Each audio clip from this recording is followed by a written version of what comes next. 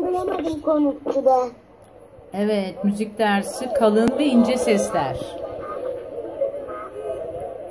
Herkes sürekli ama sürekli aynı anda konuştuğu, aynı anda gürültü çıkarttığı için hiç kimse birbirinin sesini ayırt edemiyormuş. İşin aslı şu ki, sesleri birbirinden ayırt etmek için hiçbir kelime bilmiyorlarmış.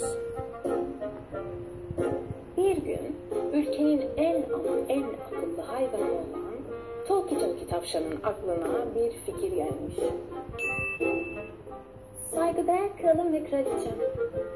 Farkındasınız ki sesleri ayırt etmek gerçekten çok ama çok zorlaşıyor.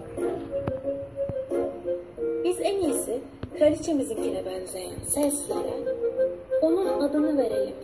İnce sesler diyelim. Kralımızınkine benzeyen seslere de kralımızın ismini verelim. Kalın sesler diyelim. Bu fikir herkesin bayağı bir hoşuna gitmiş.